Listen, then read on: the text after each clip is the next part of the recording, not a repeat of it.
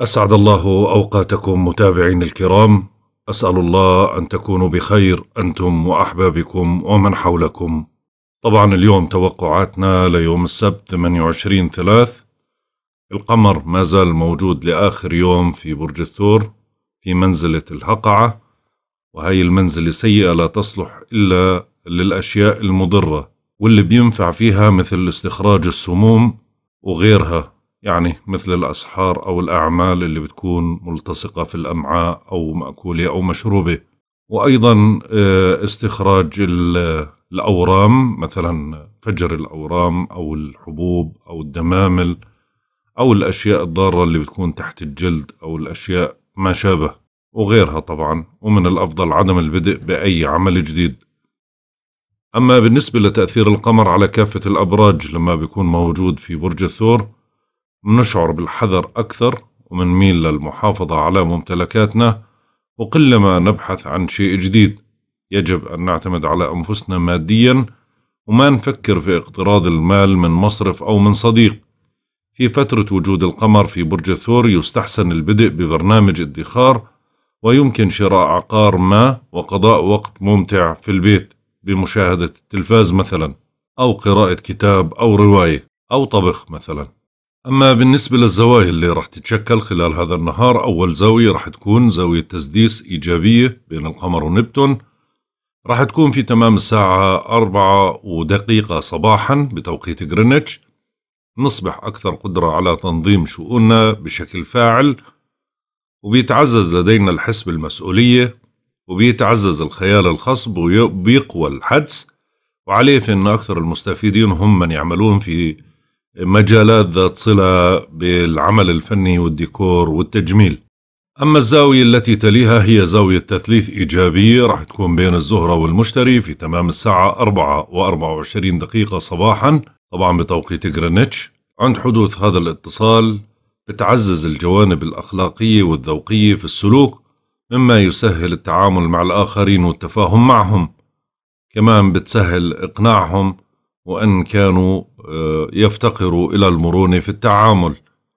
كذلك بتعزز الذائقة الفنية والقيم الجمالية لدى العاملين في المجالات ذات الصلة بهذا آه، بهذه القدرات مثل الفن والديكور وما شابه. أما الزاوية التي تليها هي زاوية تثليث إيجابية بين القمر والمشتري راح تكون في تمام الساعة واحدة وثمانية وثلاثين دقيقة عصرا بتوقيت غرينتش.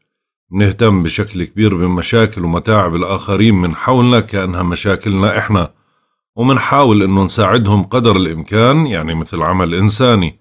بتلوح الفرصة لتحصيل مكسب مالي وبتساعدنا في تعزيز الروابط العائلية. أما الزاوية التي تليها هي زاوية اقتران إيجابية راح تكون بين القمر والزهرة راح تكون في تمام الساعة 22 دقيقة بعد العصر.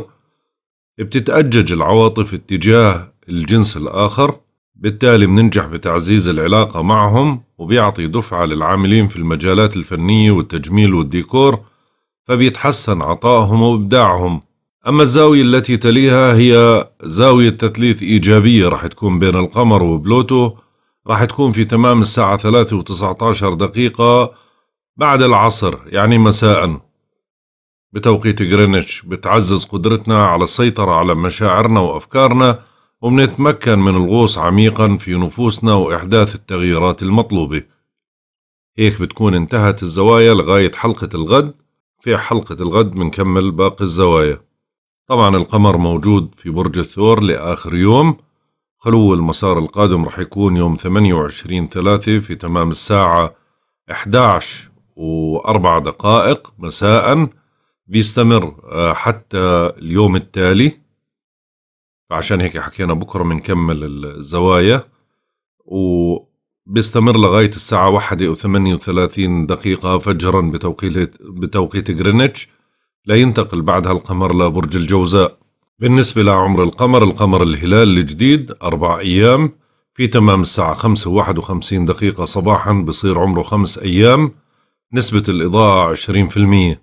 أما بالنسبة لمزاج الكواكب وطباع الكواكب لهذا اليوم الشمس في الحمل حتى 19 أربعة مزاجها سعيد. القمر في الثور حتى 29 ثلاثة مزاجه سعيد. عطارد في الحوت حتى يوم 11 أربعة المزاج ممتزج. الزهرة في الثور حتى ثلاثة أربعة المزاج سعيد. المريخ في الجدي حتى 30 ثلاثة المزاج سعيد. المشتري في الجدي حتى 14 خمسة وبعدين ببدأ عملية التراجع مزاجه سعيد. زحل في الدلو حتى 11 خمسة وبعدين ببدأ عملية التراجع مزاجه ممتزج. أورانوس في الثور حتى 15 8 وبعدين ببدأ عملية التراجع مزاجه سعيد. نبتون في الحوت حتى 23 6 وبعدين ببدأ عملية التراجع مزاجه سعيد. بلوتو في الجدي حتى 25 4 وبعدين ببدأ عملية التراجع مزاجه ممتزج.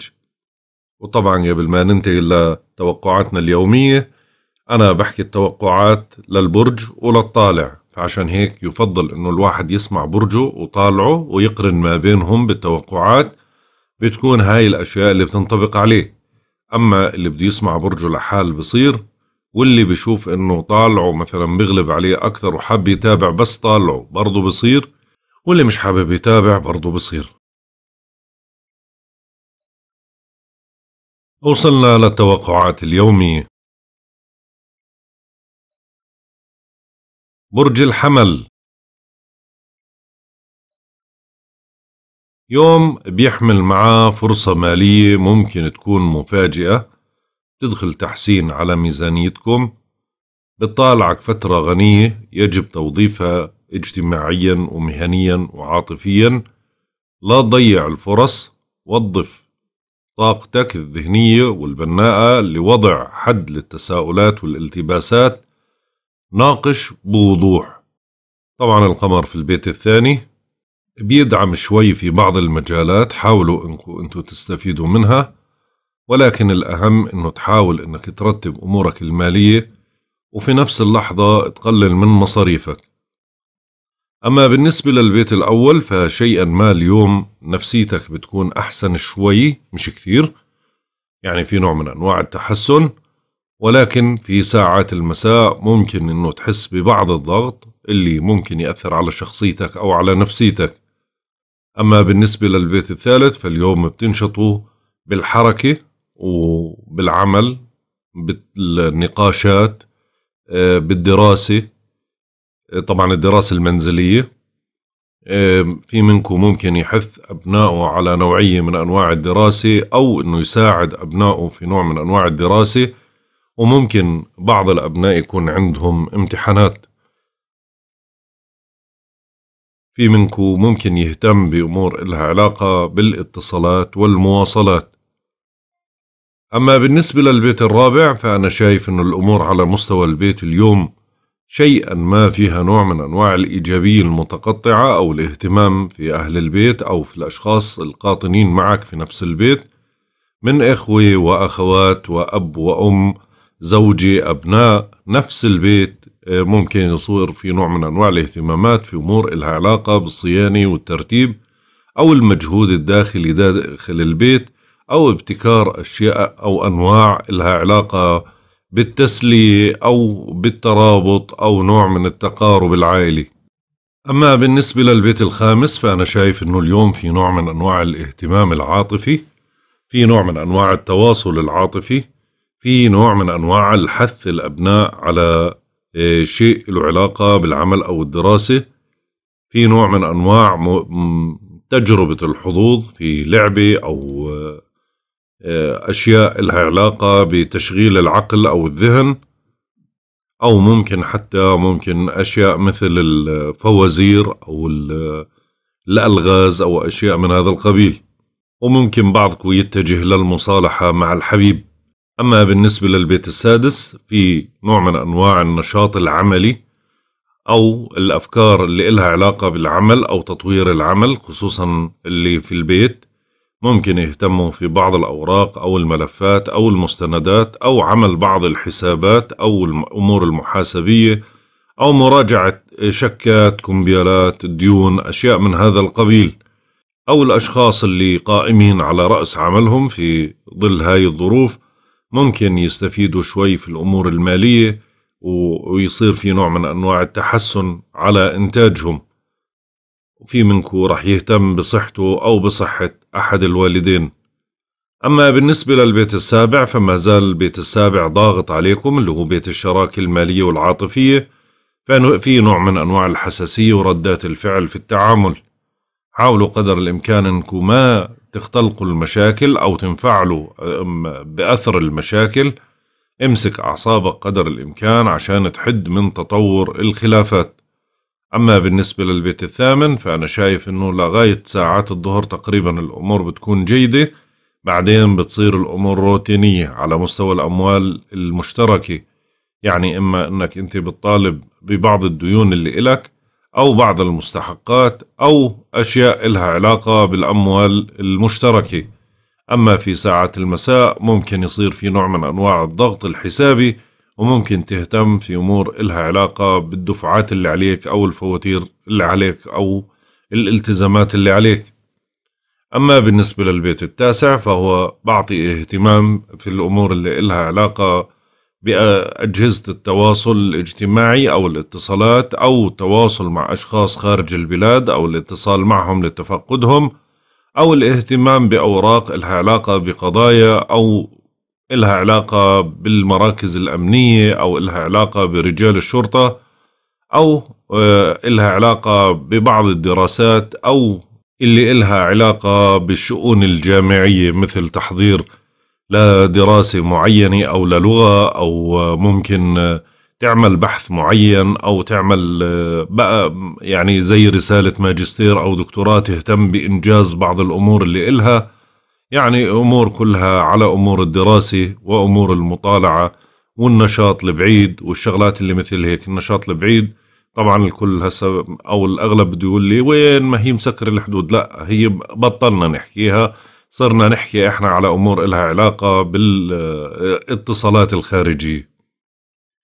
أما بالنسبة للبيت العاشر فأنا شايف إنه الأمور يعني على الأشخاص اللي على رأس عملهم يعني اللي ما زالوا بداوموا مش اللي متأثرين من من الإضراب أو أو الجالسين في البيت اللي على رأس عملهم.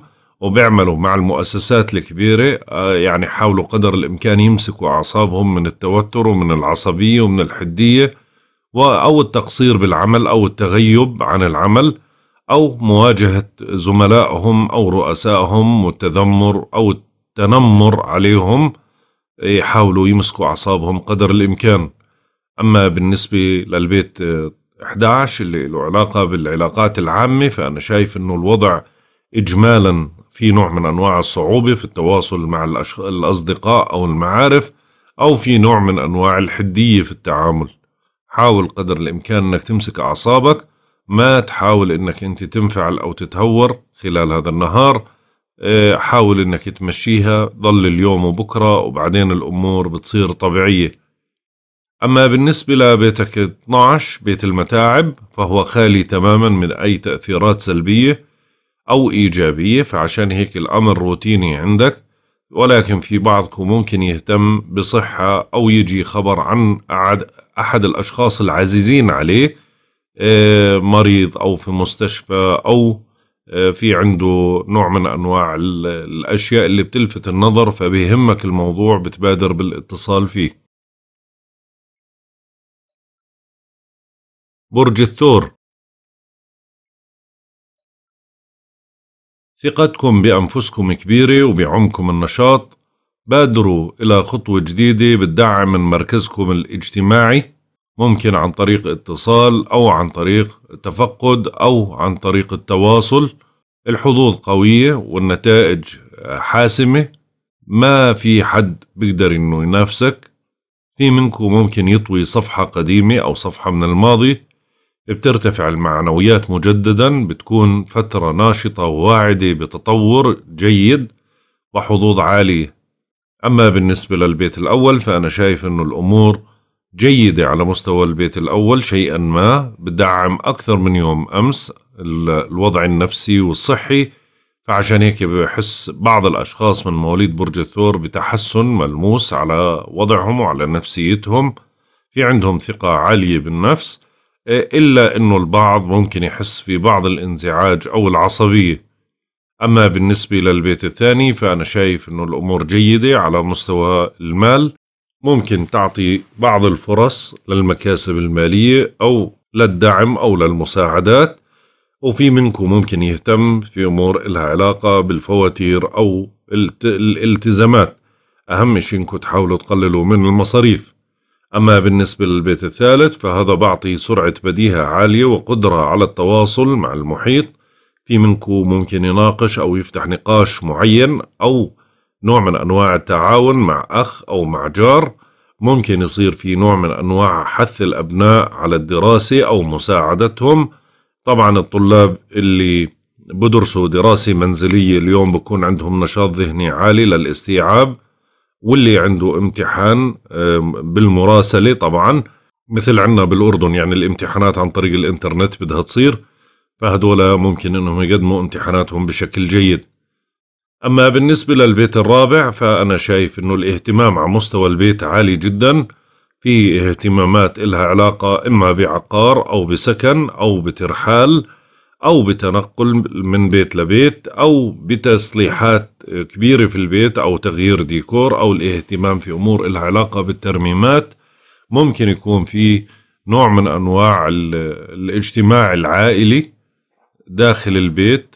طبعا بده يقول لي ما إحنا مجتمعين أساسا ما إحنا في حظر هذا الاجتماع اليوم بيختلف تماما ما بينكم وبين بعض. ممكن يصير في نوع من أنواع التقارب أو الاتصالات القريبة ما بينكم وبين أفراد العائلة. وممكن الاهتمام بخبر أو بأمر مفرح لأحد الأبناء. أما بالنسبة للبيت الخامس فأنا شايف الأمور روتينية على مستوى العاطفة وعلى مستوى الحظ فلا شيء بدعمك ولا شيء سلبي موجود. فطريقة التعامل ما بينك وبين الحبيب شبه روتينية. أما بالنسبة للبيت السادس فأنا شايف الأمور على مستوى بيت العمل يعني شوي بتعطي الأشخاص اللي على رأس عملهم مش اللي قاعدين في البيت آه، إنه ينجزوا كثير من الأعمال اليوم يكون عندهم نشاط عالي جدا. أما الأشخاص اللي قاعدين في البيت فممكن إنه يهتموا بأمور إلها علاقة بالعمل المنزلي مثل ملفات أو فواتير أو أمور إلها علاقة بالديون أو نوع من أنواع آه، الجدولة أو الدفاتر الحسابية يعني يشتغلوا في هاي الأمور أو يطلعوا على بعض الفواتير أو الأعمال القديمة.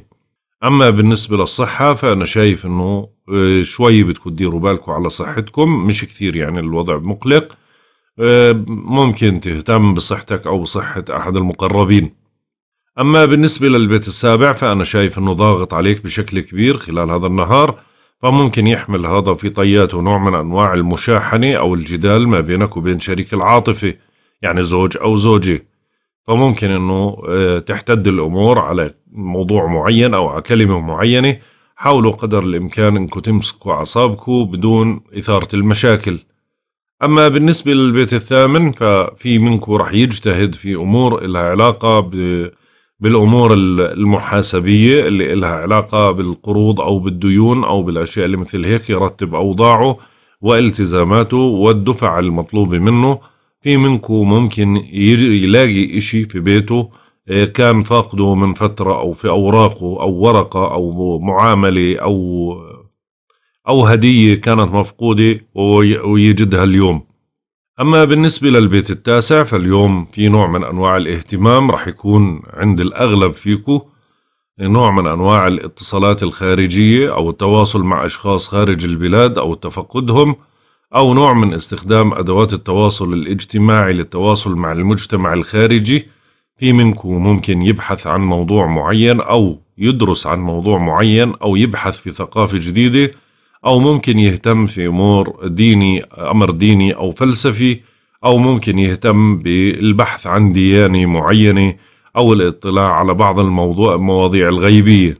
أما بالنسبة للبيت العاشر فأنا شايف أنه الأمور ما زالت حادة وخصوصا على الأشخاص اللي على رأس عملهم مش اللي قاعدين في البيوت. فهدول بدهم يديروا بالهم قدر الإمكان من التغيب أو الجدال أو الخلاف بينهم وبين زملائهم في العمل أو رؤسائهم في العمل. أما للأشخاص اللي قاعدين في البيوت آه، بقول لهم ديروا بالكم من أي شيء له علاقة بمخالفة القوانين أو التهور أو التصرفات اللي ممكن إنها تأثر على سمعتكم. حاول قدر الإمكان إنك تمسك حالك وما تغلط خلال هذه الفترة.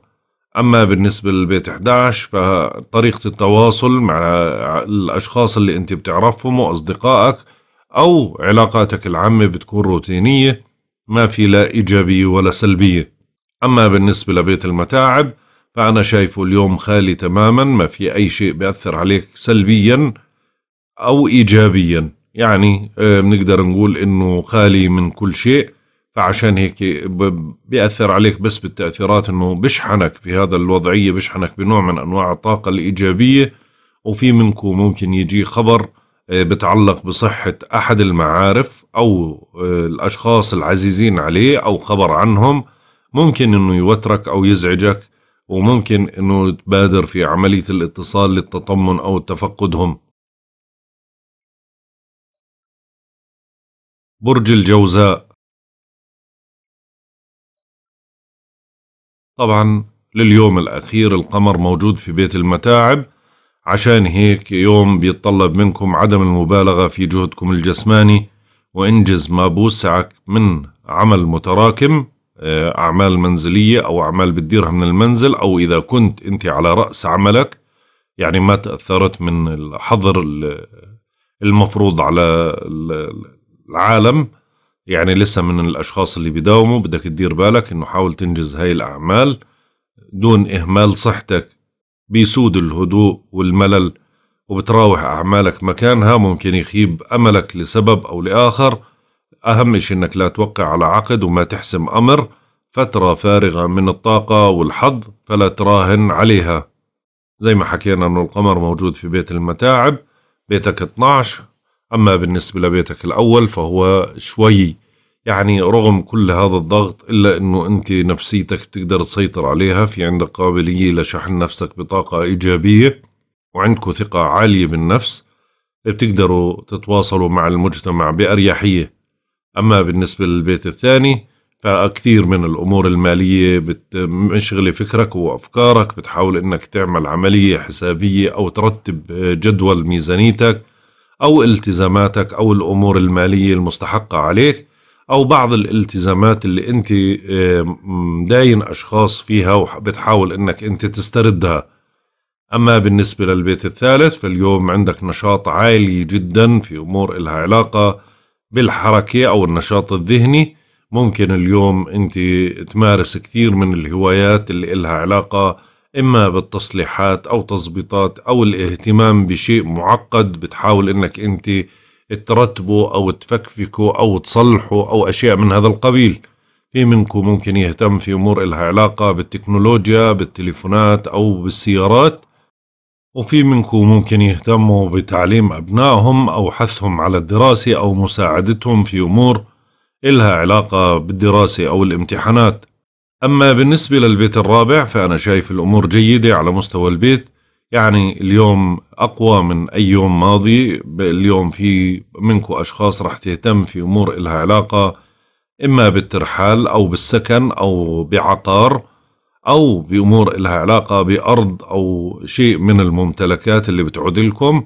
في منكم ممكن يهتموا كثير بأفراد العائلة ممكن آه، أزواجهم أو أبنائهم أو إخوتهم جيرانهم آه، والديهم ممكن يهتموا فيهم بشكل قوي بنوع من أنواع التفقد أو الاتصال وممكن يجيك خبر مفرح لأحد الإخوة أو الأخوات أو الأبناء آه، يعني يسعدك.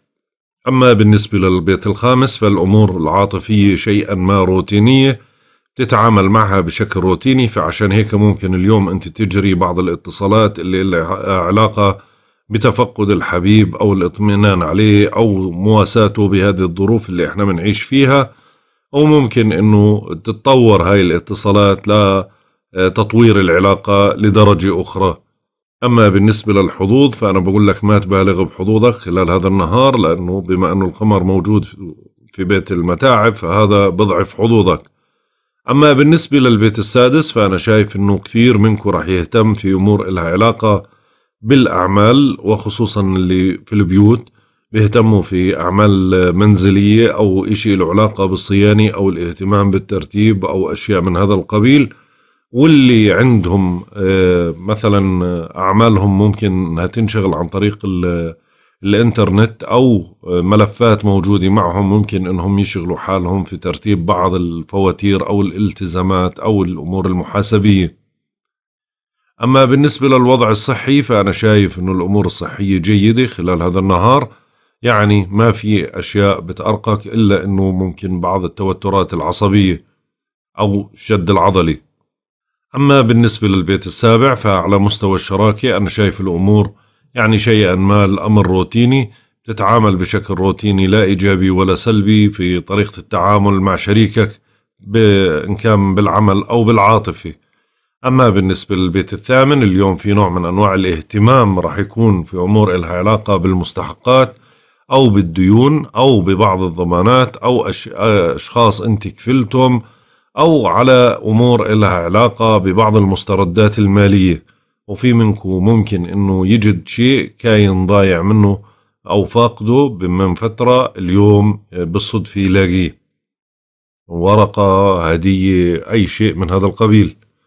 أما بالنسبة للبيت التاسع فأنا شايف إنه أنت أكثر المتضررين في هذا الإغلاق وخصوصا الأشخاص اللي في بيوتهم يعني في آه، أمور لها علاقة بالقلق على أمور إلها علاقة بالسفر أو على أشخاص خارج البلاد.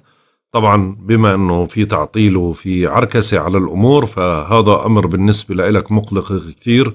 ممكن يخليك تعيد ترتيباتك في هاي الفترة ولكن بتكون مشحون بعصبية عالية جدا.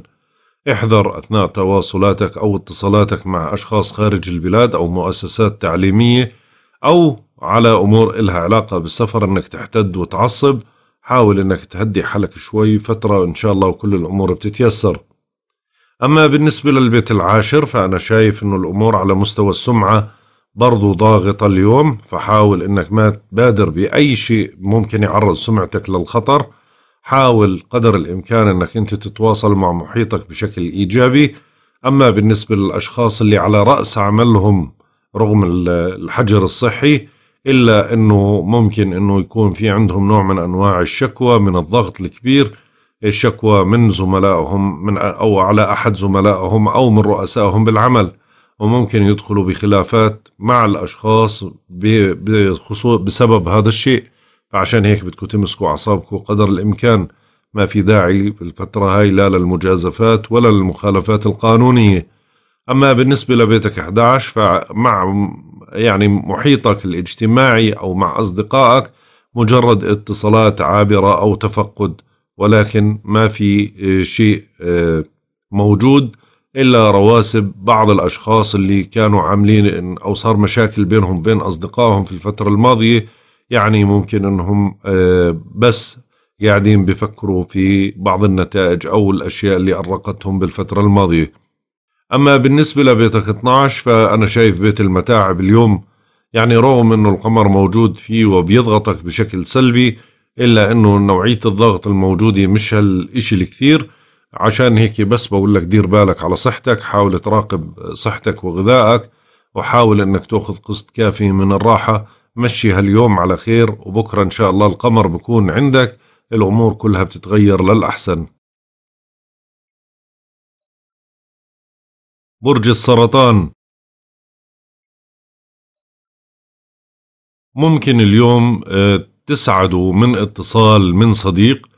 أو تفقد صديق لإلكو إلكو فترة ما تواصلتوا مع بعض فتجد إنه اليوم إنه بيتصل فيك ليتفقدك أو يتصل معك أو يطمئن على حالك. وممكن إنه يعرض عليك نوع من أنواع التعاون. أو ممكن أحد الأصدقاء يعني يحاول إنه يساعدك بأمر معين. أهم شيء إنك تكون آه، مخلص لأصدقائك تبادلوا بنفس ردة الفعل بإيجابية. وحاول إنك أنت تكون صادق بوعودك اللي أنت قطعتها على نفسك بالفترة الماضية. ممكن إنك تحصد اليوم تأييد لا بأس فيه. أهم شيء إنك تكثف من ارتباطاتك. باستطاعتك تقديم أفضل النتائج شرط التحلي بالليونة والهدوء والصبر. ممكن تفرح آه، بانتصار مهني أو اجتماعي. طبعا آه، القمر موجود في بيت 11 آه، فعشان هيك حاول تستغل هذا النهار بكل إيجابياته لأنه ابتداء من الغد القمر راح يكون في بيت متاعبك فراح يضعفك الفترة القادمة. عشان هيك بدك تحاول إنك تنجز كثير من الأعمال خلال هذا النهار حتى لو بتستعين في أحد الأصدقاء. أما بالنسبة للبيت الأول فأنا شايف إنه البيت الأول جيد خلال هذا النهار. في نوع من أنواع التعاون أو الاتصال أو نوع من أنواع شحن الذات بالطاقة. ممكن إنه مبادرة شخص معين أو كلمة من شخص معين اليوم تغير مزاجك بشكل كبير. أما بالنسبة للبيت الثاني فعندك اهتمام عالي جدا في الأمور المالي ممكن اليوم تحصل على نوع من أنواع الدعم أو المساعدة أو الوعود اللي لها علاقة بالتحسينات المالية. راح تلمس نتائجها خلال الأيام القادمة. أهم شيء أنك تقلل من مصاريفك. أما بالنسبة للبيت الثالث فيعني بنقول أنه مقبول اليوم آه، نشاطك الفكري أو الذهني أو قدرتك على النقاشات. ممكن تناقش اليوم وتجادل ولكن حاول قدر الإمكان أنك ما تعصب وما تستفز بسهولة. حاول أنك أنت إذا عندك أطفال بحاجة للمساعدة في أمور التعليم المنزلي حاول أنك أنت ما تقصر معاهم. أما بالنسبة للبيت الرابع فعندك اهتمامات كثير منزلية في عندك أشياء لها علاقة في الترميمات أو النشاطات الداخلية للمنزل أو الاهتمام بأمور لها علاقة بتصليحات أو ممكن تهتم في أمر آه، سكن بيعود لك أو عقار بيعود لك أو أشياء من هذا القبيل. في منكم ممكن يهتم بأخ أو جار أو بتفقد أفراد العائلة. أما بالنسبة للبيت الخامس فأنا شايف أنه روتيني فعشان هيك علاقتك مع الحبيب هي روتينية بتتعامل معاه بس من باب الاطمئنان والتفقد. في نوع من أنواع الضغط النفسي موجود عليك ولكن إنه أنت بتتجاوزوا قدر الإمكان مع اتصالك مع الحبيب. أما بالنسبة للبيت السادس فالأشخاص اللي على رأس عملهم اللي بيشتغلوا ما يعني رغم التسكير هذا ورغم الضغط اللي إحنا موجودين فيه آه، في أشخاص لسه بداوموا.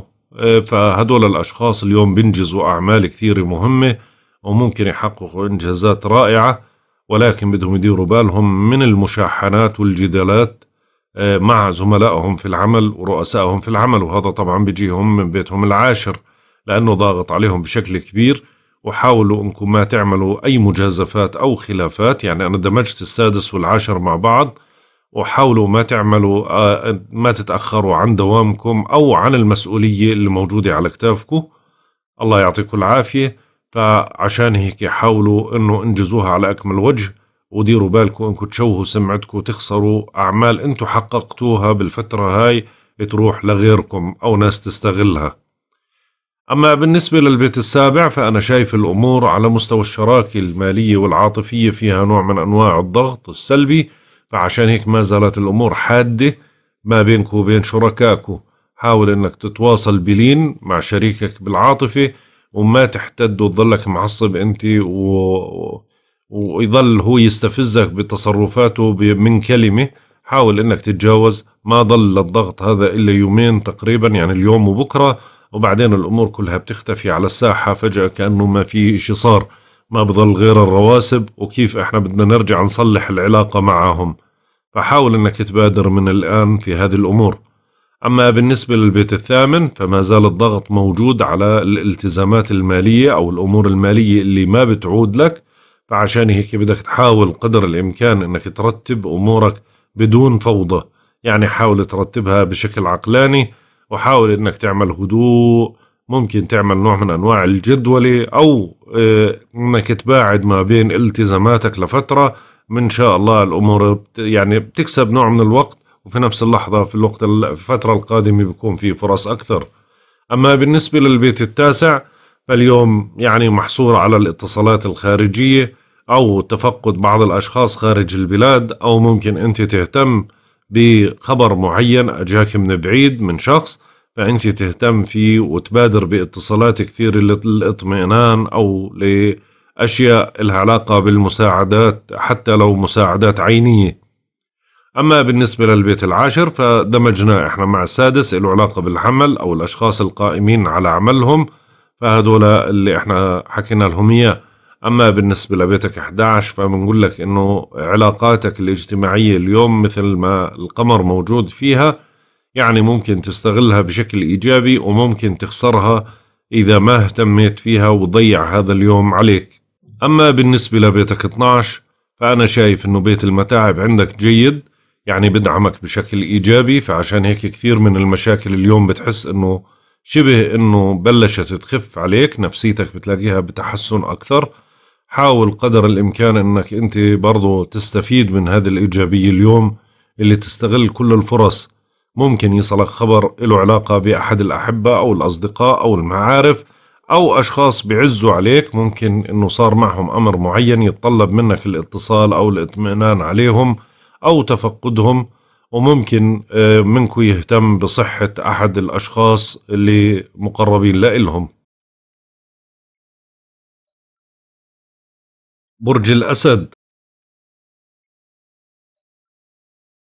طبعا يوم مناسب خصوصا للأشخاص اللي بدهم يعززوا أمور العمل عندهم وخصوصا من البيت اللي عندهم أعمال منزلية مثلا أو بيهتموا بأعمالهم من خلال المنزل أو اللي بيشتغلوا على آه، رغم الحجر هذا في في الأجهزة العاملة ما زالت اليوم بيقدروا يثبتوا حالهم على مستوى العمل تقدروا برضو تدخلوا تعديل عليه. بتحمل هاي الفترة نوع من أنواع الضغوط على عدة أصعدة ممكن تكون أيام متوترة. بتنتظرك مواجهة أو ارتباط مهم بيسبب لك نوع من أنواع التوتر حاذر العناد والمشاعر السلبية.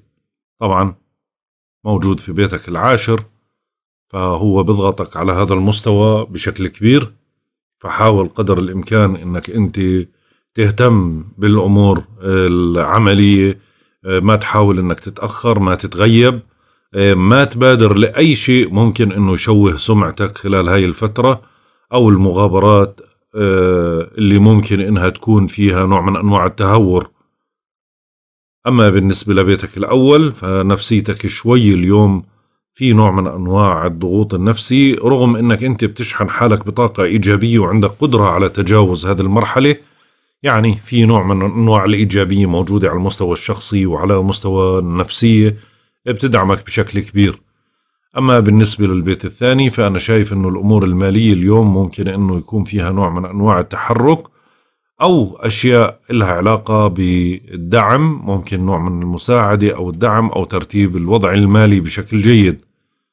أما بالنسبة للبيت الثالث فأنا شايف أنه في نوع من أنواع الاتصالات أو الاهتمام بأمور لها علاقة بالتواصل الاجتماعي أو الدراسة أو المراسلة أو ممكن حتى المناقشات اللي ممكن أنه تقنع أي شخص بوجهة نظرك. طبعا حتى لو أنت في البيت إحنا مقتصر هذا الأمر على الأشخاص آه، إذا كانوا في البيت على اللي حواليهم أو من خلال الإمكانيات المتوفرة زي أجهزة الاتصالات والمواصلات. عبر الإنترنت أو شغلات مثل هيك وممكن أشخاص اللي على رأس عملهم يستفيدوا منه في في تحركاتهم. في منكم ممكن إنه يقدم الدعم لبعض الأشخاص اللي بحاجة لنوع من التشجيع في الأمور الدراسية أو العلمية أو ممكن تبحثوا أنتوا عن أمر بتعلق في النشاط الفكري.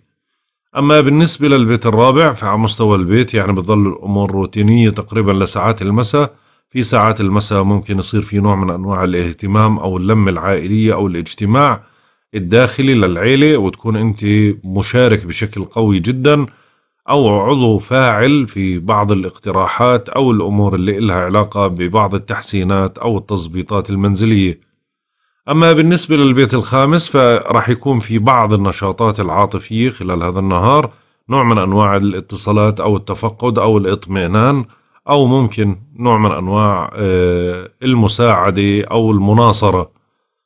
بس بنصحك أنه ما تحاول أنك أنت تجرب حظك في هذا اليوم. أما بالنسبة للبيت السادس فهو بدعم بعض الأشخاص مثلا بدنا نقسم الأشخاص على جزئين. جزء على رأس عمله مثل الممرضين والأطباء وبعض الشركات أو المؤسسات العاملة في الدولة. هدول بينجزوا أعمال كثيرة مهمة خلال هذا النهار وممكن يحققوا إنجازات رائعة. أما بالنسبة للجزء الآخر اللي هم اللي في البيوت ممكن ينجزوا أعمال على مستوى البيت أو إنجازات داخلية أو نوع من أنواع المساعدة أو نوع من أنواع الدعم الداخلي أو أشياء لها علاقة بالإنجازات الصيانة والترتيب وأشياء من هذا القبيل. في منكم ممكن يهتم بصحته أو بصحة أحبائه. أما بالنسبة للبيت السابع فأنا شايف بيت الشراكة المالية والعاطفية خالي تماما فلا في إيجابية ولا في سلبية يعني الأمر روتيني. فعشان هيك حاول إنك أنت تتعامل بشكل روتيني بدون ما إنك تثير المشاكل أو تكون حساس. أما بالنسبة للبيت الثامن فلغاية ساعات الظهر الأمور بتضلها في نوع من أنواع الأمل لمساعدة معينة أو لا ترتيب معين للأمور المالية أو لا شيء له علاقة بالوضع المالي. ممكن إنك أنت تبحث في أوراقك أو تطالب بديونك أو تعمل اتصالات معينة أو يكون تفكير إلك لتحصيل بعض الأشياء اللي بتعود لك. آه، وبعد الظهر بتصير الأمور روتينية طبيعية بتتعامل مع الأمر كأنه آه، أمر روتيني. أما بالنسبة للبيت التاسع فأنا شايف إنه الأمور آه، جيدة على أمور الدراسة. يعني اللي بدرسوا دراسة منزلية رح يهتموا في الدراسة المنزلية بشكل جيد. ممكن يبحثوا عن أمور أو يجروا بعض الاتصالات الخارجية مع أشخاص خارج البلاد أو ممكن يتفقدوا بعض الأشخاص اللي بعز عليهم أو ممكن يدخلوا في نقاشات حادة مثل السياسة أو أو الاقتصاد أو الأمور اللي لها علاقة بالدولة أو حتى بخصوص المرض هذا المنتشر فراح يكون في لكم اهتمامات عالية. أما الأشخاص اللي عندهم دراسات جامعية وهم في البيت بيحضروا لها أو بدرسوا عن طريق الإنترنت اليوم بينجزوا كثير من الأعمال الدراسية أو بكون عندهم الاهتمام آه، العالي في هذا المجال. أما بالنسبة للبيت العاشر فإحنا ذكرنا أنه القمر موجود فيه ذكرنا في بداية التوقعات. أما بالنسبة لبيتك 11 ففي كثير اليوم راح يكون من الاتصالات أو التفقد لأشخاص خارج البلاد أو أصدقاء لإلك موجودين ممكن تتفقدهم باتصالات أو نوع من أنواع الاطمئنان على حالهم أو نوع من التواصل. بس لنوع من إثبات الذات ممكن تطلب مساعدة أو معونة من بعض الأشخاص. اللي يساعدوك أو يعاونوك في مسألة معينة حاول أنك تستغلها بشكل إيجابي. أما بالنسبة لبيتك 12 فالأمور على مستوى البيت ال 12 يعني جيدة بيت المتاعب. يعني فما في أي سلبية عليك إلا أنه ممكن أنه بعضكم يشعر ببعض التوعكات الصحية بس أنه يديروا بالهم على صحتهم يعني مش الأمر خطير. يحاولوا إنهم يراقبوا غذائهم وراحتهم وأمورهم إن شاء الله بخير. برج العذراء. ممكن يصلكم اليوم خبر من بعيد. ممكن تنجحوا في أمور إلها علاقة بالاتصالات. بتزداد رغبتكم في البحث عن قاسم مشترك بجمعكم بأحبائكم. تطمئن خواطرك. هاي فترة آه، ممكن ترغب بخوض تجربة جديدة. فترة مناسبة للانفتاح على محيط مختلف. أو على ثقافة جديدة أو على مجال ما أو البحث في بعض الأمور إلها علاقة من خلال الإنترنت أو من بعض الكتب أو الروايات. في منكم ممكن يهتم بأوراق قانونية أو معاملات قانونية أو أشياء آه، بجهز بأشياء أو ببحث عن بعض التجهيزات لهذه الأمور. أما بالنسبة للبيت الأول فأنا شايف أنه الأمور آه، جيدة. على مستوى البيت الأول نفسيتكم اليوم أحسن في عندكم كثير من التفكيرات أو التدابير بتحاولوا أنكم تستغلوها بالفترة هاي. أما بالنسبة للبيت الثاني فأنا شايف أنه الأمور يعني على المستوى المالي بتفكروا في أمور لها علاقة بالالتزامات أو الترتيبات المالية أو بعض المشتريات أو الاهتمامات في أشياء بتهمكم في الفترة هاي. بس حاولوا أنكم تقللوا من مصاريفكم. أما بالنسبة للبيت الثالث فعندكم نشاط ذهني عالي جدا. اليوم ممكن تناقشوا وتجادلوا وتحاوروا بشكل كبير. ممكن تقنع أي شخص بوجهة نظرك. في عندك نشاط فكري عالي جدا. حاول إنك أنت تستغله وتستثمره بأشياء إيجابية. في منكم ممكن يساعد أبنائه في نوع من أنواع الدراسة أو حثه على الدراسة أو مساعدته في موضوع ما. أما بالنسبة للبيت الرابع فأنا شايف أنه في نوع من أنواع الاهتمام بالمنزل بشكل عالي جدا إما باجتماع عائلي أو شيء له علاقة بترميمات تصليحات اهتمامات منزلية عالية. ولو جمعنا الثالث مع الرابع بنلاقي فيه منكم له اهتمامات بأمور الاتصالات والمواصلات. في منكم ممكن يهتم بصحة أحد الأقرباء له أو المقربين عليه. أما بالنسبة للبيت الخامس فأنا شايف الأمور العاطفية ضاغطة بشكل سلبي كبير وفي نوع من أنواع التوتر العاطفي موجود فعشان هيك حاول تمسك أعصابك قدر الإمكان وحاول أنك تتجاوز الفترة هاي بدون زيادة المشاكل أو الفجوة ما بينك وبين الحبيب. أما بالنسبة للبيت السادس فأنا شايف أنه الأمور الأشخاص اللي على رأس عملهم مش اللي بالحجر. فهدول اليوم بينجزوا كثير من الأعمال المطلوبة منهم وممكن يهتموا بأمور آه، جيدة لتطوير مسائل لها علاقة بالعمل وفي منكم راح يهتم بأمور الصحية. أما بالنسبة للأشخاص اللي في البيوت فممكن يحوروا هذا العمل لأعمال منزلية أو اهتمامات بأعمالهم عن طريق المراسلة أو الإنترنت أو عن أشياء بإمكانهم أنهم ينجزوها وهم في بيوتهم. أما بالنسبة للبيت السابع فأنا شايف الأمور على مستوى الشراكة المالية والعاطفية فيها نوع من أنواع الحدية بتظلها مستمرة لغاية ساعات الظهر. فحاولوا قدر الإمكان أنكم تمسكوا أعصابكم. بعد ساعات الظهر بتصير الأمور روتينية. ممكن تبادروا في نوع من أنواع المصالحة أو التقارب مع الشريك. أما بالنسبة للبيت الثامن فأنا شايف البيت الثامن شوي في نوع من أنواع الضغط لغاية ساعات الظهر. ممكن يأرقوا بعض الأمور المالية أو الالتزامات أو المصاريف. ولكن بعد ساعات الظهر ممكن تجد الحلول أو نوع من أنواع المساعدة أو وعد بمساعدة. أما بالنسبة للبيت التاسع فالأشخاص آه، اللي آه، لهم علاقة في البيت التاسع اللي هو بيت السفر والاتصالات البعيدة والامتحانات والدراسة الجامعية والقضايا القضائية. ذكرناها طبعا في بداية التوقعات. أما بالنسبة للبيت العاشر فأنا شايف أنه الأمور على مستوى الأشخاص اللي على رأس عملهم مع المؤسسات الكبيرة. بنقول لهم بدكم تديروا بالكم آه، حاولوا انكم ما تدخلوا بأي آه، خلاف أو نقاش مع زملائكم بالعمل أو رؤسائكم بالعمل. أما باقي الأشخاص بنقول لهم ديروا بالكم من أي مجازفة أو مغامرة أو مخالفة للقوانين اللي ممكن إنها تجيب لك آه، تشويه بالسمعة. حاول إنك ما تخاطر وما تغامر وما تدخل بأي شيء مشبوه. أما بالنسبة لبيتك 11 فأنا شايف إنه الأمور على مستوى الأمور العلاقات العامة في نوع من أنواع التواصل مع أشخاص أو مع علاقات عامة ومع ناس آه، بعزوا عليك. ممكن يبادروا بمساعدتك في أمر ما وممكن إنك تجد نوع من أنواع التعاون أو التفقد بالاتصالات. أما بالنسبة لبيت المتاعب فالأمور بتضلها ضاغطة عليك لساعات الظهر. بنوع كبير فعشان هيك بدك تدير بالك على صحتك. حاول إنك ما تجازف مثل ما قلنا. بعد ساعات الظهر بتلاقي الأمور اختلفت وصارت إيجابية أكثر. ممكن يطمئن بالك آه، لا بعض الأمور وممكن تسمع خبر ممكن إيجابي أو سلبي عن آه، شخص بيعز عليك. برج الميزان. ثم فرصة لمكسب مالي له صلة بشراكة أو بتعويض طبعا شراكة مالية أو شراكة عاطفية. ممكن هاي الأموال تجيك نوع من أنواع الدعم أو المساعدة أو وعود كنت موعود فيها بنوع من أنواع مساعدة المساعدة المالية اليوم تحصل عليها.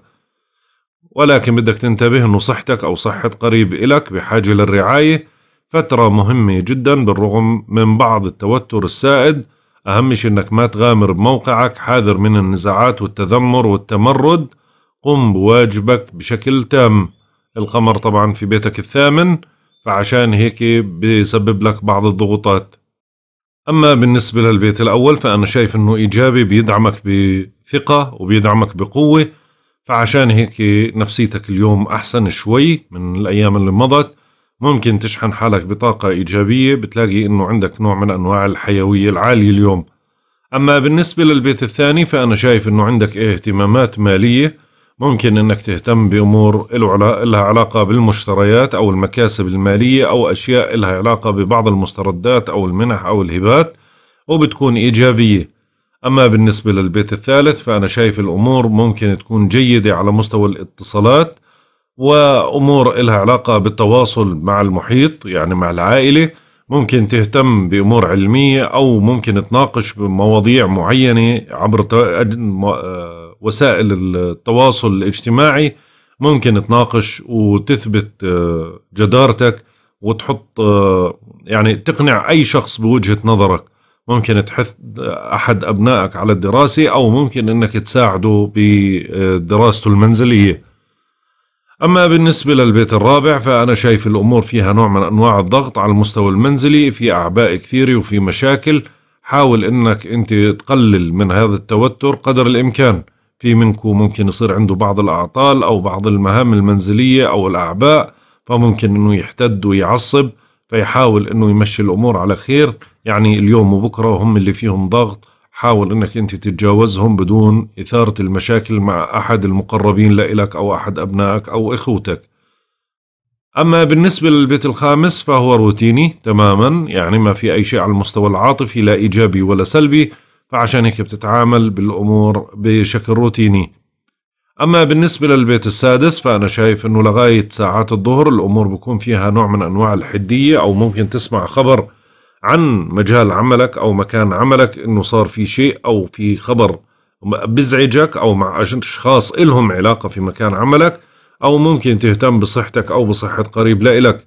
أما في ساعات ما بعد الظهر الأمور بتستقر وبتصير إيجابية ممكن تسمع أخبار جيدة. أما بالنسبة للبيت السابع بيت الشراكة المالية والعاطفية فأنا بقول إنه الأمور يعني شيئا ما إيجابية فعشان هيك في نوع من أنواع التفاهم ما بينك وبين شريك العاطفي أو شريك المال.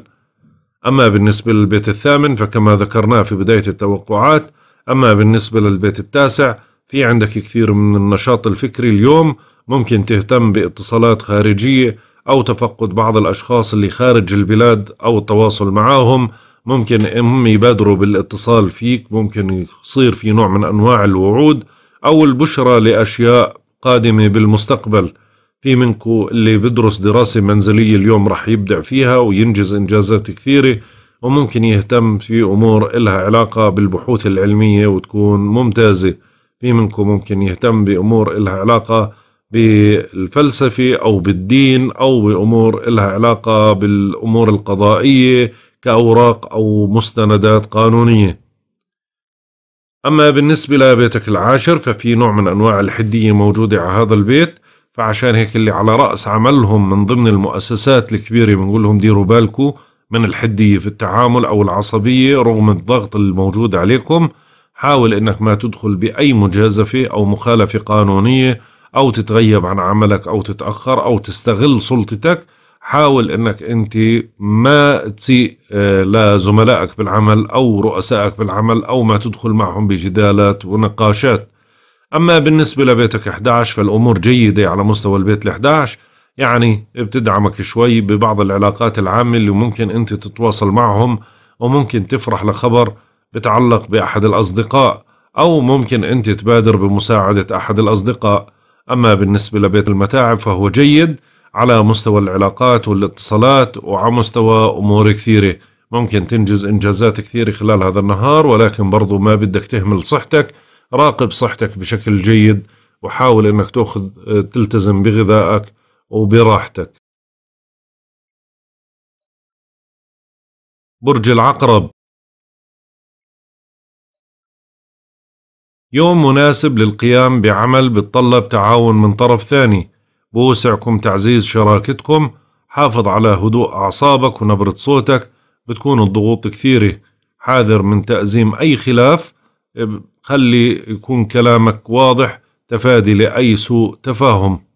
طبعا القمر مقابلك مباشرة في بيت الشراكة المالية والعاطفية فعشان هيك بعطي نوع من أنواع الضغط والحدية عليك.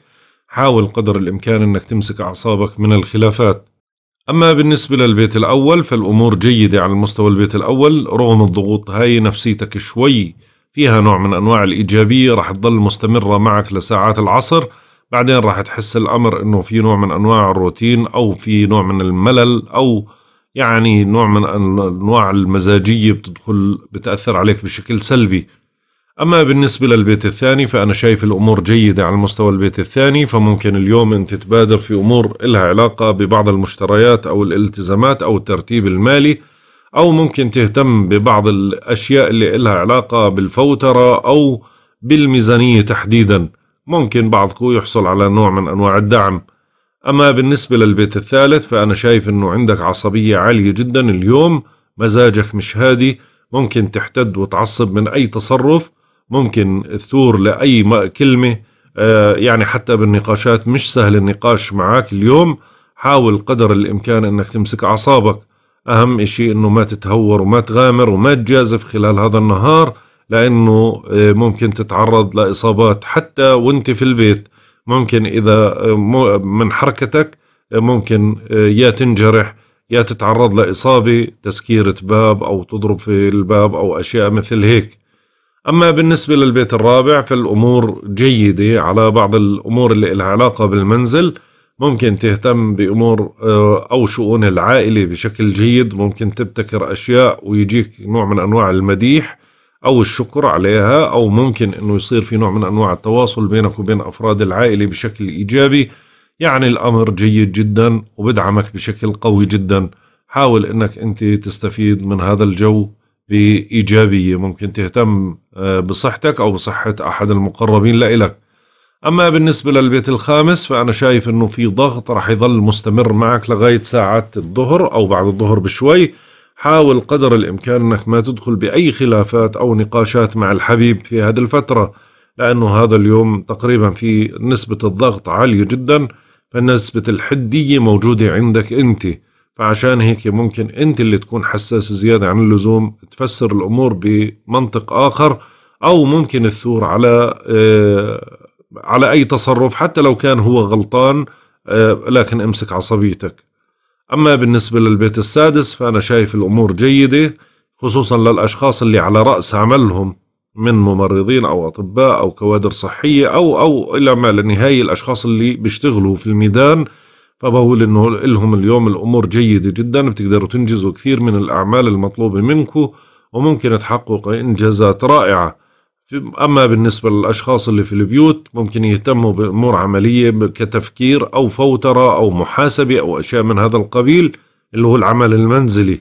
وممكن إنه آه، يهتموا بصحتهم أو بصحة قريب لهم أما بالنسبة للبيت السابع فذكرناه في بداية التوقعات.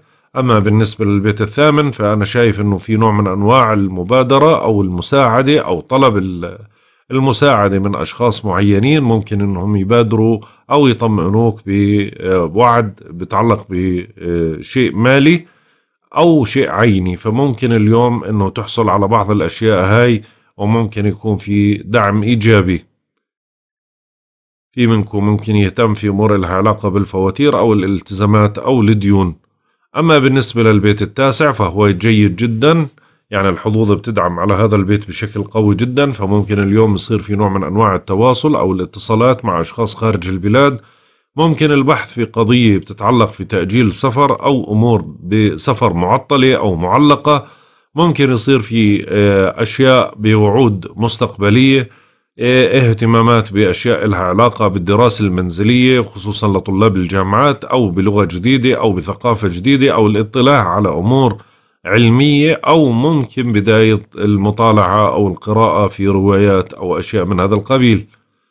أما بالنسبة للبيت العاشر فهو ضاغط بشكل كبير خصوصا على الأشخاص اللي على رأس عملهم إيه اللي مش مح آه، محصورين في البيوت وبنقول لهم ديروا بالكم من أي خلافات مع زملائكم بالعمل أو رؤسائكم بالعمل. أما بالنسبة لجميع برج العقرب بنقول لهم ديروا بالكم من أي مجازفات بتشوه السمعة. ما في داعي لأي مخاطرة أو مخالفة قانونية حاولوا أنكم ما تبادروا بأي شيء ممكن يشوه سمعتكم مهما كان ما في داعي للمجازفات والمغامرات أو الأعمال المشبوهة. أما بالنسبة للبيت 11 فهو جيد جدا بيدعمكم آه، بشكل قوي في علاقاتكم ومعارفكم. ممكن يبادر أحدهم بمساعدتك أو بنجدتك في أمر معين. ممكن يكون في بوادر خير أو مساعدات جيدة خلال هذا النهار. حاول قدر الإمكان أنك أنت آه، تنجز الأعمال المطلوبة منك بشكل جيد. حاول أنك تستثمرها بشكل جيد. الأمور مطمئنة وممتازة جداً. أما بالنسبة لبيت متاعبك ففي نوع من أنواع الضغط اللي بتو... يعني بتوجه لك خلال هذا النهار. حاول قدر الإمكان أنك تراقب صحتك بشكل جيد. تفادي لبعض الأمراض أو الوعكات الصحية المفاجئة اللي ممكن تجوك فجأة. حاول أنك أنت تهتم بصحتك بغذائك براحتك وبرضو امسك أعصابك قدر الإمكان. برج القوس. رغم تراكم العمل أنتم قادرين على إنجاز حصة الأسد منه. نظموا جدول غذائكم وخذوا قسط كافي من الراحة. ممكن تلحقك اليوم الاتصالات وتكثر المسؤوليات العائلية والمهنية. نظم وقتك وما تتأخر. ممكن تهتم بانشغالات مالية أو تساؤلات حول قدراتك على التحمل. أهم إشي إنك ما تشك بنفسك وممكن بعضكم يكون عنده انشغالات صحية. طبعا القمر في البيت السادس. بيت العمل وبيت الصحة فعشان هيك هيك التوقعات بتكون آه، لهذا اليوم. أما بالنسبة للبيت الأول فأنا شايف المستوى النفسي اليوم جيد جدا مشحونين بطاقة إيجابية. رغم أنه القمر الآن بيتجه باتجاه مقابلتكم تماما فعشان هيك من المفروض أنه بضعف من طاقتكم. ولكن اليوم يختلف الوضع تماما أنه في عندكم طاقة إيجابية بتدعمكم بتدعم من آه، من ثقتكم بنفسكم. أما بالنسبة للبيت الثاني فأنا شايف أن الضغوط المالية هي أكثر إشي بأرقكم بالفترة هاي. في عندكم نوع من أنواع الضغط والالتزامات والأفكار المادية أو الأشياء اللي بتأرقكم من مشتريات ومستلزمات أو مطالبات بديون أو أمور لها علاقة بالفوترة. أما بالنسبة للبيت الثالث فأنا شايف أنه اليوم عندكم نشاط ذهني عالي جدا. عندكم قدرة على الاتصالات والمواصلات والأمور اللي لها علاقة بالاتصال بالمجتمع. تقدروا تقنعوا أي شخص بوجهة نظركم وتتواصلوا مع المجتمع بشكل جيد.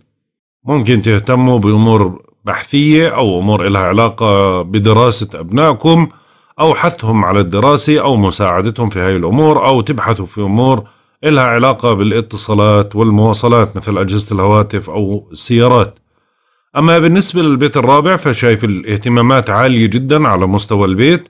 ممكن اليوم يكون في بعض الأعباء المنزلية وخصوصا لساعات الظهر بعض الأعطال أو الأمور اللي بتحتاج منكم آه، الصبر أو أشياء لها علاقة بالصيانة أو الترميم أو المساعدات العائلية أو مشكلة عائلية ممكن تتطلب اهتمامك. أما بالنسبة للبيت الخامس فأنا شايف أنه البيت الخامس ضاغط بشكل كبير عليكم. فعشان هيك ممكن يكون في بعض المواجهات أو بعض الملاسنات أو بعض المواضيع الحادة اللي تنفتح مع الأحباء أما بالنسبة للبيت السادس فهو كما ذكرنا في بداية التوقعات أما بالنسبة للبيت السابع فهو جيد على مستوى الشراكة ممكن يصير في نوع من أنواع التباحث في أمور لها علاقة بالشريك. ممكن نوع من أنواع المصالحة أو عند بعضكم نوع من أنواع المعاتبة ولكن الأمور جيدة وممكن أنه تصلوا لنقطة التقاء انت حاورتوا بعقلانية. أما بالنسبة للبيت الثامن فالأمور على المستوى المال برضو بتأرقكم شوي ولكن هذا بدل على بعض المساعدات أو البشرة المالية أو الأمور اللي بتقف لجانبكم في بعض المطالبات المالية أو المستلزمات المالية. حاول قدر الإمكان أنك ترتب أمورك بشكل جيد بما يتعلق بالفواتير والديون وبعض الأشياء الضرورية. أما بالنسبة للبيت التاسع فهو جيد لبعض الأشخاص بعملية الاتصال مع أشخاص خارج البلاد أو التواصل معهم. ممكن الاطمئنان على حالهم أو أشياء لها علاقة بأمور آه، اللي هي الدراسة المنزلية آه، خصوصا الطلاب اللي آه، جامعيين. ممكن يهتموا بالدراسة المنزلية أو أمور لها علاقة بامتحانات أو واجبات أو بحوث علمية أو أشياء من هذا القبيل. أما بالنسبة للأمور القضائية فأنا شايف أنه إذا كان في اهتمام اهتمام ببعض المستندات والأوراق والأشياء المهمة من هذا القبيل. أما بالنسبة للبيت العاشر فأنا شايف أنه للأشخاص اللي على رأس عملهم في المؤسسات الحكومية أو المؤسسات الكبيرة بقول لهم ديروا بالكم من أي مجازفات أو مخالفات حاولوا ما تتغيبوا عن عملكم حاولوا إنكم ما تراهنوا على إنه أنتم فوق المسؤولية لأنه ممكن إنه تيجيك أشياء تزعجك بشكل مباشر أو تكون ضدك بشكل مباشر. فأهم شيء لك إنك لا تخالف القوانين لا تدخل بأشياء مشبوهة وما تجازف مهما كانت الظروف. حاول ما تدخل بمواجهات مع زملائك بالعمل أو رؤسائك بالعمل. أما بالنسبة لبيتك 11 فهو فارغ تماما لا حظ إيجابي ولا سلبي فالأمور روتينية بتتعامل فيها بشكل روتيني باتصالاتك مع معارفك أو علاقاتك أو الأشخاص اللي بتعرفهم. أما بالنسبة لبيت المتاعب فبيت المتاعب ضاغط عليك بشكل كبير خلال هذا النهار. ممكن إنه يسبب لك بعض التوترات أو بعض الآلام العابرة أو الأشياء اللي بتتطلب منك إنك تهتم بصحتك شوي. حاول إنك تهتم بصحتك وتاخذ آه، قسط كافي من الراحة وتنظم جدول غذائك بشكل جيد. برج الجدي. بترغبوا في التقرب من أحبائكم وتعزيز العلاقة معهم. بوسعكم آه، ممارسة نشاط فني ما تبالغوا في تجربة حظكم المالي. آه، انت على موعد مع مصالحة أو ممكن لقاء ودي. تجنب الانتقادات وسعى لتلطيف الأجواء تستعيد صفاء ذهنك وبتفاوض بمهارة حاول إتمام العقود والصفقات التجارية حتى لو عن طريق التواصل والاتصالات أو عن طريق الإنترنت. ادرس المشروع بشكل جيد وحاول إنك تشوف إذا في إمكانية وخصوصا الأشخاص اللي على رأس عملهم. إذا عرضت هذه الأمور عليهم في هذه الأيام يستغلوها بشكل إيجابي ويتحركوا بشكل إيجابي. طبعا الحظ داعم لكم طبعا هو موجود في بيتكم الخامس بيت الحب وبيت الحظوظ. فعشان هيك أي شخص على رأس عمله ممكن يستفيد من التوقعات هاي آه، أو أغلبها. أما بالنسبة للبيت الأول فهو جيد اليوم يعني إيجابي بيدعمكم بشكل جيد رغم أنه في عندكم تقلبات في المزاج عالية. إلا أنه الأمور ماشية مثل ما آه، مش مثل ما بدكم ولكن إيجابية قدر الإمكان. يعني بتعززوا من آه، من وجهة نظركم من نفسيتكم من شخصيتكم بشكل قوي. أما بالنسبة للبيت الثاني فالأمور والاهتمامات المالية هي اللي مأرقيتكم بالفترة هاي. الالتزامات وبعض الأمور الضاغطة هي اللي بتأرقكم بشكل كبير. حاول قدر الإمكان أنك تمسك حالك وترتب أمورك بشكل جيد. آه، حاول أنك تقلل من المصاريف برضو. أما بالنسبة للبيت الثالث فأنا بقول لك بدك تدير بالك لليوم الأخير من الأمور اللي إلها علاقة بالمغامرات أو المجازفات أو بدك تنتبه أثناء آه، حركتك آه، ممكن يصير في نوع من أنواع الإصابات حتى لو أنت في المنزل آه، يعني تتفركش رجلك تضرب إيدك في الباب جرح أثناء العمل في المطبخ أشياء من هذا القبيل. بدك تكون منتبه وحذر. من الإصابات. أما الأشخاص اللي بتنقلوا أو معهم تصاريح للتنقل في الشوارع بدهم يديروا بالهم من المجازفات من والمغامرات أو ممكن من الحوادث أو الأعطال بالسيارات. أما بالنسبة لمستوى المناقشات والجدالات فأنتم حادين الطباع بشكل واضح جدا لدرجة أنه ممكن أي شيء يستفزكم يخليكم تعصبوا. امسك أعصابك قدر الإمكان. أما بالنسبة للبيت الرابع فالأمور على مستوى البيت شبه هادي اليوم يعني في نوع من أنواع الهدوء النسبي على مستوى البيت. ممكن تتعاون مع آه، أهل البيت أو يصير في نوع من أنواع الاهتمام أو التقارب آه، العائلي بالنسبة للي في البيت مع بعض. أما بالنسبة للبيت الخامس فذكرنا في بداية التوقعات. أما بالنسبة للبيت السادس فأنا شايف أنه الأمور يعني للأشخاص اللي على رأس عملهم في إيجابية عالية جدا بالنسبة لهم. للأشخاص اللي في البيت ممكن ينجزوا أعمالهم من خلال البيت خصوصا إذا كانت أعمال ورقية أو أعمال محاسبية أو من خلال الإنترنت أو آه، من خلال المراسلات. أما بالنسبة للوضع الصحي بدكم تهتموا بوضعكم الصحي بشكل جيد. أما بالنسبة للبيت السابع فالأمور يعني روتينية على مستوى بيت الشراكة فعشان هيك بتتعاملوا بشكل روتيني لا إيجابية ولا سلبية في الموضوع. أما بالنسبة للبيت الثامن فالبيت الثامن بدعمكم شوي. ممكن يجيب بعض المبادرات أو المساعدات أو البشائر لبعض المساعدات المالية أو ممكن تهتموا بأمور إلها علاقة بأموال ما بتعود لكم مثل إرث أو قرض أو أموال مستردة أو اهتمام بأشياء لها علاقة بالمؤسسات الحكومية زي الضريبة أو المستلزمات القانونية. أما بالنسبة للبيت التاسع فهو جيد في أمور الاتصالات الخارجية آه، ممكن اليوم تهتموا بشأن أحد الأشخاص أو تتواصلوا مع أشخاص للاطمئنان على حالتهم آه، أو على أوضاعهم.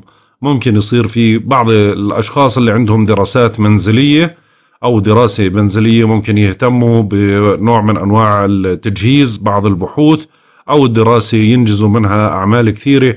أو يهتموا بلغة جديدة أو البحث في مسألة بتتعلق في أمور إلها علاقة في الدين أو الفلسفة أو الأمور الغيبية. أما بالنسبة للبيت العاشر فالأشخاص اللي على رأس عملهم تحديدا بنقول لهم ديروا بالكم من أي مواجهة ممكن إنها تصير بينكم وبينكم وبين زملائكم بالعمل أو رؤسائكم بالعمل. أما لجميع مواليد برج الجدي بنقول لهم ديروا بالكم من أي مجازفات أو مخالفات قانونية ممكن إنه تأثر عليكم بشكل سلبي. أي شيء بشوه السمعة ديروا بالكم منه خلال هذه الأيام. وأي مغامرات أو خروقات قانونية أو أعمال مشبوهة ديروا بالكم منها. أما بالنسبة لبيتك 11 فهو إيجابي. فبدعمك في التعامل مع أصدقائك أو التواصل معهم. ممكن أنت تساعد بشيء أو ممكن هم يساعدوك بشيء معين أو يكون في أخبار مطمئنة لأشياء مستقبلية. أما بالنسبة لبيت المتاعب فبدك تدير بالك ما زالت الأمور ضاغطة عليك بتجيب لك بعض الأشياء اللي لها علاقة بالإصابات أو بالأمور الأمراض العابرة مثل آلام الأعصاب أو شد العضل أو أشياء من هذا القبيل. حاول تراقب صحتك بشكل جيد وراقب غذائك بشكل جيد وخذ قسط كافي من الراحة. برج الدلو. بوسعكم إدخال أي تعديل مطلوب على مسكنكم. وتعزيز الروابط العائلية خصص فترة لا بأس بها من وقتك للاهتمام بمتطلبات العائلة. الأجواء ضاغطة والمسؤولية كبيرة وممكن تكون في عندك هيك أشياء لها علاقة بالارتباطات المهمة. ما بجوز إنك أنت تفشل فيها. بأرقك آه، كثير الالتزام المنزلي أو المصاريف العائلية أو المنزلية. طبعا القمر في بيتك الرابع. أما بالنسبة للبيت الأول فأنا شايف أنه في نوع من أنواع الإيجابية في النفسية شيئا ما مش بالنسبة الكبيرة ولكن أنه بتدعمك بشكل إيجابي نفسيتك بتقدر تسيطر عليها بشكل كويس. أما بالنسبة للبيت الثاني فأنا شايف أنه في نوع من أنواع الضغوط اللي جايتك على المستوى المالي. ممكن التزامات أو بعض المصاريف أو الاهتمامات المالية. فعشان هيك بقول لك بدك تدير بالك قد ما بتقدر من هاي الالتزامات وما تأرق حالك كثير. رتبها واليوم تمشي إن شاء الله ومن بكرة في بوادر خير أفضل. أما بالنسبة للبيت الثالث فأنا شايف الأمور جيدة على أمور الحوارات والمناقشات وأمور حث الأبناء على الدراسة أو مساعدتهم بالدراسة. على مستوى الحركة وأجهزة الاتصالات والمواصلات والبحوث. اليوم بتشحنك بطاقة عالية جدا. أما بالنسبة للبيت الرابع ذكرناه في بداية التوقعات. أما بالنسبة للبيت الخامس فهو جيد على مستوى التشاور أو البحث بمسائل معينة مع الحبيب. ممكن تفقده أو الاطمئنان على حاله أو رعايته أو مساعدته في مسألة ما. يعني الوضع تقريبا إيجابي. بس أهم شيء إنه ما تحاول إنك تجرب حظك كثير لأنه في نوع من أنواع الضغوط على الحظوظ. أما بالنسبة للبيت السادس فأنا بقول لك إنه الأمور آه، جيدة وخصوصا الأشخاص اللي على رأس عملهم اللي بيشتغلوا. فهذول بنقول لهم إنه اليوم تقدروا تنجزوا كثير من الأعمال المطلوبة منكم بتمشي الأعمال بشكل جيد ممكن تعملوا نوع من أنواع التطوير فيها. أما بالنسبة للأشخاص اللي في البيوت ممكن يهتموا ببعض الصيانات أو الترتيبات أو الأمور المنزلية. برضو في نوع من أنواع الاهتمام بصحتكم أو بصحة قريب لإلكم. أما بالنسبة للبيت السابع فهو فارغ تماما من الحظوظ من الإيجابية أو السلبية فعشان هيك بنقول الأمر روتيني. أما بالنسبة للبيت الثامن في نوع من أنواع الاهتمام في أمور لها علاقة بالدعم الخارجي أو المساعدة الخارجية أو بعض الأمور المالية أو الفوترة أو الالتزامات وفي منكم ممكن يهتم ببعض الأمور اللي إلها علاقة بأموال الدولة مثل الضريبة أو الضمان أو المساعدات الخارجية أو أشياء من هذا القبيل. في بعض البوادر لنوع من أنواع المساعدة. أما بالنسبة للبيت التاسع فهو مغلق تماما فعشان هيك بنقول لك دير بالك من النقاشات آه، الحادة أو سوء الفهم أو التصرف المتسرع حاول إنك تمسك حالك قدر الإمكان. في منكم ممكن يهتم باتصالات خارجية لتفقد بعض الأشخاص أو الأصدقاء اللي بيعزوا عليه والأشخاص اللي بدرسوا دراسة منزلية ممكن يهتموا في أمور علاقة بحثية أو ممكن يهتموا بلغة أو يهتموا بإنجاز كثير من فروضهم. أما بالنسبة لبيتك العاشر فالأشخاص اللي على رأس عملهم تحديدا بنقول لهم ديروا بالكم من أي مواجهة أو من أي سلبية بالتعامل ما بينكم وبين زملائكم بالعمل أو رؤسائكم بالعمل. أما بالنسبة لكل مواليد برج الدلو بنقول لهم ديروا بالكم من أي شيء مخالف للقوانين أو في نوع من أنواع المغامرة أو نوع من أنواع المجازفة الغير مشروعة. فعشان هيك هذا بيت بشوه السمعة حاولوا ما تبادروا بأي شيء يشوه سمعتكم. أما بالنسبة لبيتك 11 ففي نوع من أنواع التواصل بينك وبين أحد الأصدقاء. ممكن يساعدك في أمر معين وممكن تتواصل معاه بأمر معين. حاول أنك أنت تتواصل معاه لا أمر يا لا يا لمساعدتك يا أما أنت بدك تساعده في مسألة معينة. أما بالنسبة لبيت المتاعب فما زال ضاغط عليك بشكل كبير. حاول قدر الإمكان أنك تنتبه لصحتك. حاول أنك تريح أعصابك شوي وتأخذ قسط كافي من الراحة. وحاول أنك تراقب تغذيتك وتهتم بأمورك وشؤونك بشكل جيد. برج الحوت. بتنشطوا في أمور إلها علاقة بالدراسة والاتصالات. يوم مناسب آه، للاتصال مع أشخاص ممكن يكونوا بيعزوا عليكم أو أشخاص حابين تتفقدوهم. ممكن يكون لكم تعامل مع أخ أو جار تتمتع بقدرات ذهنية كبيرة وجراءة في التعبير والوصف.